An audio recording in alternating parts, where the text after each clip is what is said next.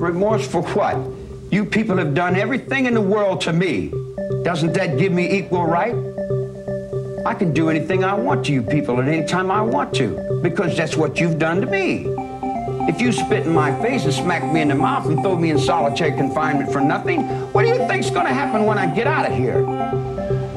Maybe I haven't done enough. I might be ashamed of that for not doing enough.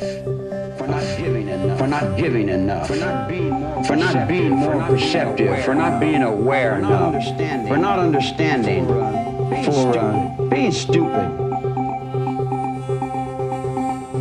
Maybe I should have killed four or five hundred people. Then I would have felt better. I felt like I, then I felt like I really offered society something. You've got it stuck in your You've brain got it stuck in your brain that I What do you murdered somebody. Call me a murderer for? I've never killed anyone. I don't need to kill anyone. I think it. I think it. I have it here.